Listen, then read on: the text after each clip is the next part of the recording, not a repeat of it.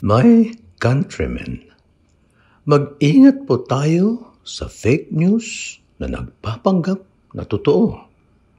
Dito na tayo sa fake fake news.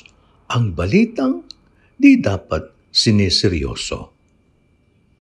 Oras na para sa balitang peke na base sa totoong pangyayari. Fake Fake News.